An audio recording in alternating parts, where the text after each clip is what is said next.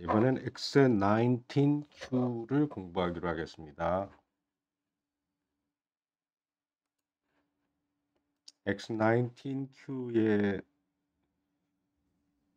PDF 파일을 얻기 위해서는 kpop.org로 들어가셔서 여기 들어가면 여기 이제 K-팝 유튜브 채널을 시 청하는 법에 대해서 나오고요. 오늘 새로 만들었는데 Table of Contents 오늘 X 시리즈를 공부하고 있으니까 X 시리즈를 클릭하면 이리로 갑니다. X19 Q X19Q의 textbook이 나오고요.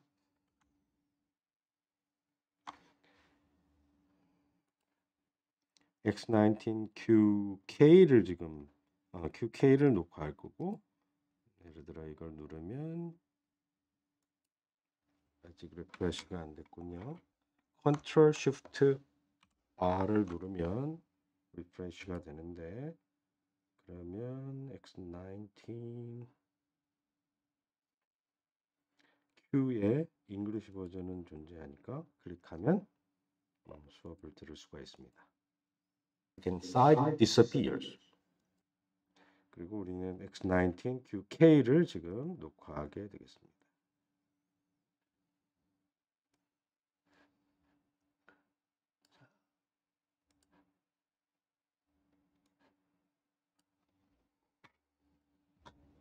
PDF 파일 안에서도 K-pop lecture 코리안 지금 녹화를 할 것이고 English 여기를 클릭하면 유튜브가 나오고 kpop.org로 다시 가고 싶으면 여기를 클릭하면 kpop.org가 나오고 여기는 아직 서브스크립션을 하지 않으셨으면 여기를 클릭하면 되겠습니다. 자, Driven Damped Harmonic Oscillation 이 문제를 풀 때에는 어, 삼각함수의 덧셈 이런 것들을 잘 알고 있어야 되는데요. X19NQ의 그 sinusoid function의 addition formula에 대해서 자세하게 설명이 나와 있으니까 그 부분을 잘 이해를 못하는 분은 X19NQ를 꼭 참고하기 바랍니다. 그리고 이 모든 내용은 X19에 자세하게 나와 있으나 처음 보는 사람이 방대한 내용을 이해하기가 힘들기 때문에 조각조각 나누어서 설명을 되풀이하고 있습니다. Show that the sum of any two sinusoidal functions 삼각함수 두 개를 더하는데 지금 여기선 탄젠트, 코탄젠트 이런 거 말고 사인과 코사인을 얘기하고 있습니다. 이들이 same period를 갖는다면 period가 같은 어느 두 개를 더하더라도 사실은 그것들의 linear combination이 되겠어요. 그들의 amplitude가 서로 다를지라도 항상 동일한 period의 sinusoidal function이 만들어지고 거기에 부가해서 phase가 생겨난다. 이것이 어, 이 문제의 핵심입니다. 직각 삼각형을 그리게 되면 여기에 앵글이 세타라고 주어 있을 때 나머지 한 각도는 2분의 파이 마이너스 세타일 수밖에 없고 이게 코사인 이게 사인이기 때문에 이 두 개의 각도를 바꾼다라는 것은 세타와 2분의 파이 마이너스 세타를 바꾼다는 것은 코사인과 사인을 바꾼다는 것 말 그와 동일한 어, 조건이 되기 때문에 코사인 오메가 t는 항상 사인 2분의 파이 마이너스 오메가 t이고 사인 오메가 t는 코사인 2분의 파이 마이너스 오메가 t다. 이거 identity 항등식입니다. 우리가 period라고 한다면 period는 주기, 제자리로 돌아오는데 필요한 최단의 시간, 단 어, 오메가 t가 파이 2파이 사인과 코사인은 2파이가 피리어드이기 때문에 그러면 그 값을 제자리로 돌아가는데 최소한 최소한의 시간을 period capital T라고 하면 capital T는 2파이 마이너스 어, 나누기 오메가의 형태를 가지게 됩니다. 자, 먼저 코사인과 사인을 더해 보기로 하겠습니다. 코사인과 사인의 amplitude가 알파와 베타가 있다면 이들의 제곱의 합의 루트를 붙여서 앞에 빼내면 이것은 알파와 베타는 다음과 같은 숫자로 바뀌게 되는데요. 이렇게 되었을 경우에 이 두 개의 숫자의 제곱의 합이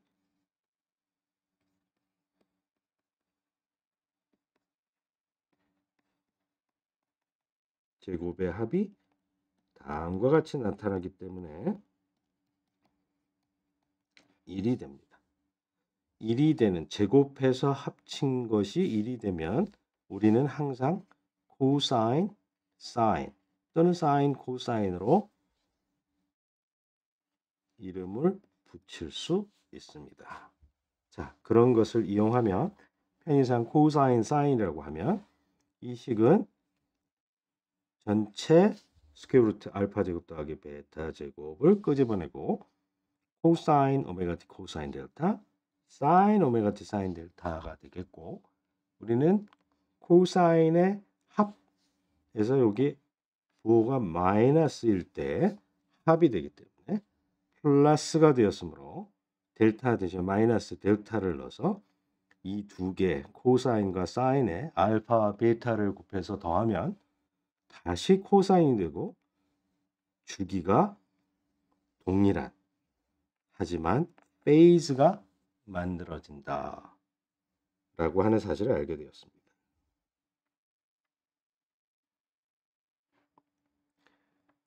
아까는 코사인과 사인을 합쳤고요. 지금도 코사인과 사인을 합치는데 동일한 숫자를 이제는 사인 델타와 코사인 델타로 이름을 붙여 보겠습니다. 그렇게 되면 사인과 코사인이라고 이름을 붙이면 얘는 코사인, 사인, 사인, 코사인이기 때문에 이것은 사인 함수로 합쳐지겠죠. 어떻게 되었건 간에 코사인이건 사인이건 주기가 동일하고 phase가 생긴다. 이제는 좀 더 복잡하게 같은 코사인인데 capital 델타만큼 phase가 차이가 난다. 그렇게 되면 이 코사인은 코사인, 코사인, 사인, 사인 빼기니까 덧셈으로 만들고 전개할 수 있고 이때 오메가 t가 들어가는 sinusoid function이 모두 있는데 얘네는 코사인이고 얘는 사인이니까 코사인끼리 묶어서 만들고 사인은 하나밖에 없네요. 이제 코사인과 사인이 있을 때 어떻게 더하는지는 우리가 잘 알고 있기 때문에 얘네들을 잘 모아서 이거 제곱, 이거 제곱 더해서 square root 한 다음에 그것으로 나눈 것을 다음과 같이 코사인 사인으로 이름을 붙이면 얘네들이 합쳐진다. 여기까지 하겠습니다. 자, 이제 steady state solution for the underdamped driven damped harmonic oscillator. 자, 여기에서 mx 제 어, 더블 닷 bx 닷 kx 이퀄 빵이라는 방정식이 있는데 이것은 driven이 아니라 damped harmonic oscillator이다. 이것은 미분 방정식 상에서 이름을 붙일 때 equal 빵은 homogeneous equation을 한다. equal 빵이 아닌 이런 것들을 non-homogeneous equation이라고 한다.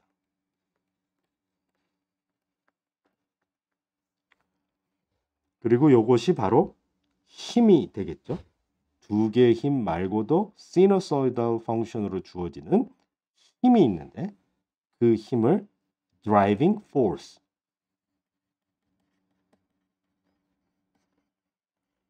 라고 한다. steady state solution이란 사실은 다음과 같은 equation of motion의 솔루션은 항상 이러한 답을 만들어주는 어떠한 x가 있을 것이고 그것을 이름하여 particular solution이라고 부른다.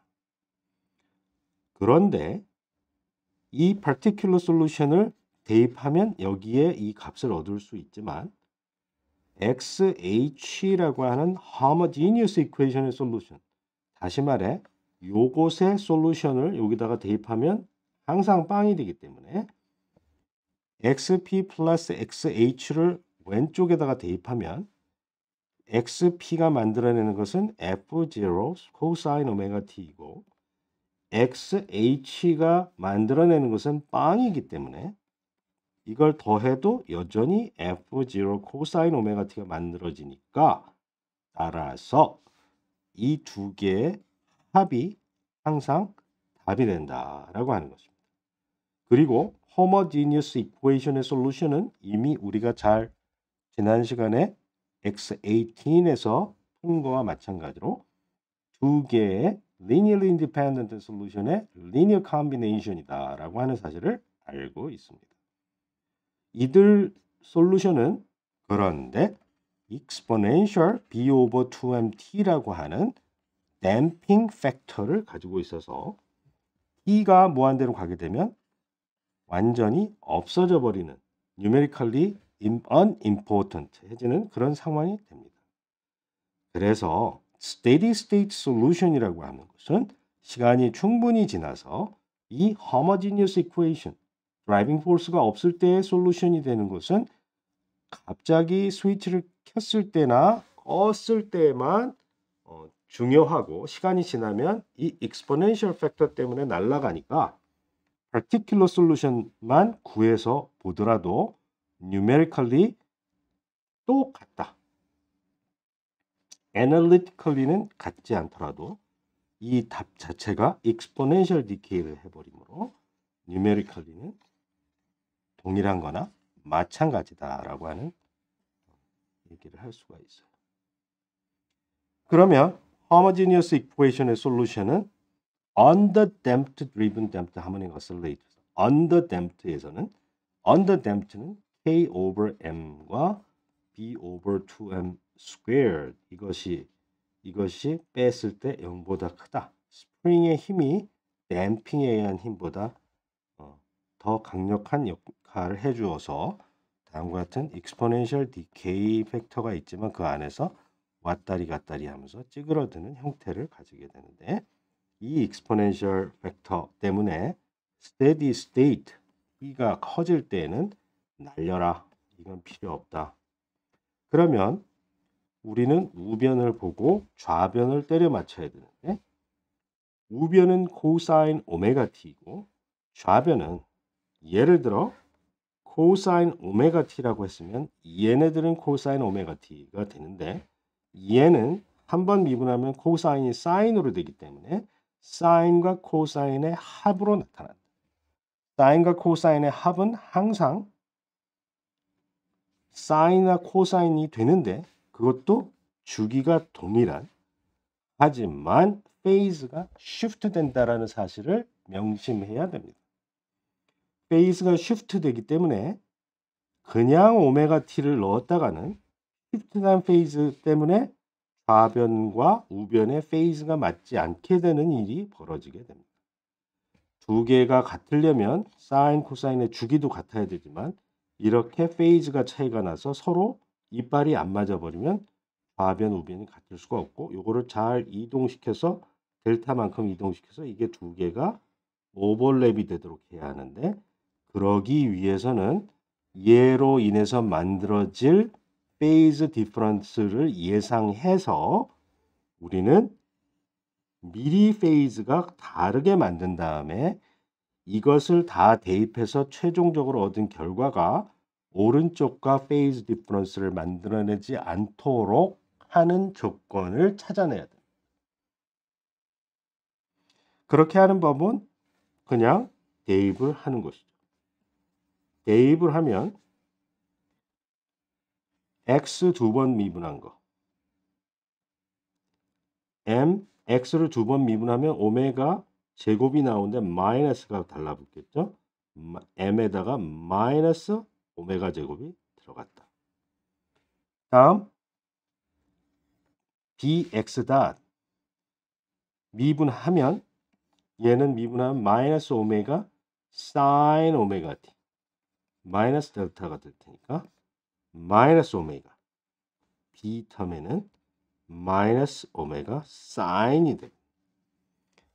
그리고 spring constant가 작용하는 restoring force term 플러스 kx가 있는데 이 플러스 kx는 그냥 가져오면 된다. k만 집어넣고 코사인.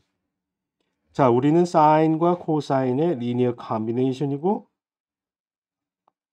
자기 멋대로 달려 있는 amplitude들이 있다. 이 amplitude들을 잘 조합해서 한 개의 sinusoidal function으로 항상 collapse 시킬 수 있다라는 걸 아니까 요거 요거의 제곱을 해서 더한다. 더해서 루트를 붙이고 그것을 나누어 준다. 그러고 나서 이 친구와 이 친구 나누기 square root를 해서 그것을 코사인 델타, 사인 델타라고 하자. 그렇게 하면 얘가 코사인 델타, 얘가 사인 델타. 그러면 sinusoidal function addi, addition formula에서 코사인, 코사인, 사인, 사인 이것은 어떻게? 코사인 오메가 t 마이너스 델타 플러스 델타 그래서 코사인 오메가 t로 바뀌어지게 돼서 좌변의 델타 dependence 이 phase shift가 소멸하면서 오른쪽에 phase가 없는 상태하고 동일하게 만족이 된다. 그러면 이것이 solution이라는 걸 알 수 있죠. 자, 이것을 우리는 코사인이라고 했고 이것을 사인이라고 했기 때문에 코사인 델타, 사인 델타의 조건을 얻어냈고 이것이 phase dependence, phase shift를 cancel시키는 역할을 해준다라는 것을 알게 되었어요. homogeneous equation의 solution은 e to the minus b over 2m의 t factor 때문에 날아가 버릴 것이고 steady state에서는 t가 커질 때에는 이것이 답이 되게 됩니다. 이 답을 잘 들여다보면 얘 square root 이 친구가 나오거든요. 얘는 오메가 dependent한 amplitude를 갖게 되는데 이것이 특정한 값에서 커지게 됩니다. 여기는 오메가의 4차식, 이건 오메가의 2차식. 이걸 잘 정리하면 우리는 오메가 제곱으로 모든 게 오메가 제곱과 오메가 4제곱과 상수로 구성되어 있기 때문에 completing the square 완전 제곱식을 만들게 되면 오메가가 들어가 있는 것에 완전 제곱 더하기 무엇으로 바뀌게 되고 그렇게 만들어 놓게 되면 여기에서 이 오메가 제곱이 요 값을 가질 때 요 값과 일치할 때 정확하게 날아가 버리면서 이 분모가 최소 값이 되고 그 amplitude는 가장 커지는 현상을 나타내는 건데 그러한 현상을 resonance라고 하고 그때의 frequency 그때의 frequency를 이 완전 제곱식에서 보면 정확하게 이런 값을 가질 때 이게 b가 빵일 때에는 characteristic frequency의 k 오버 m 이렇게 되겠죠. 자, 여기에서 여기에 틀렸네. 오메가 r의 스퀘어가 돼야 돼.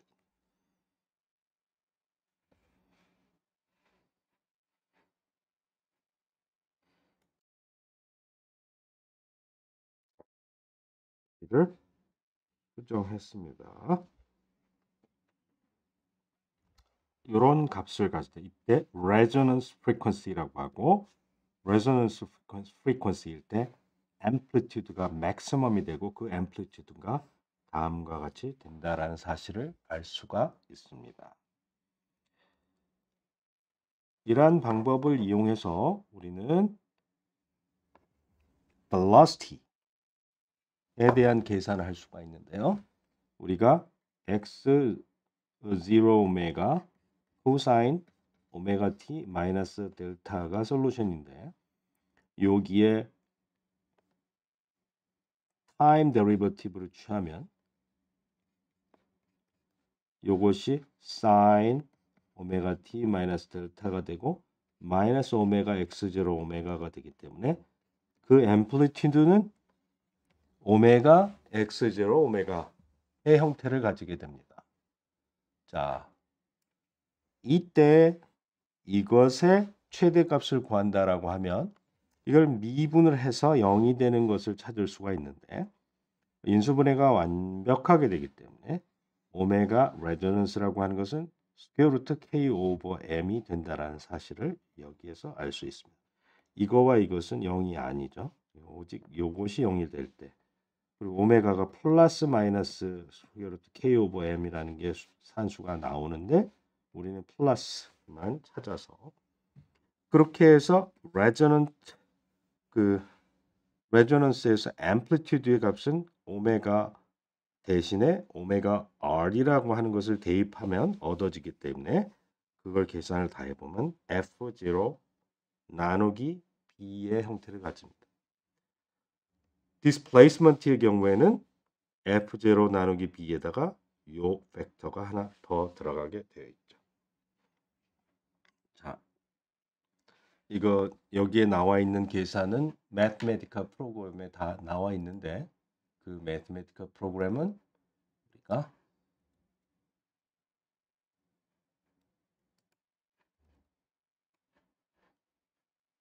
여기에 x19q에 가서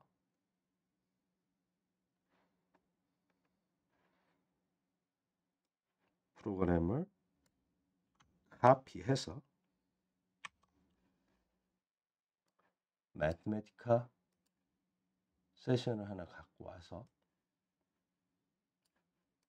여기다가 프로그램 카피하고 Shift Enter 치면 검사한 결과를 알아낼 수가 있습니다. 자, 여기 나와 있는 코드를 잘 활용해서 검사하는데 활용해 보기 바랍니다. 이것으로 마치겠습니다. 감사합니다.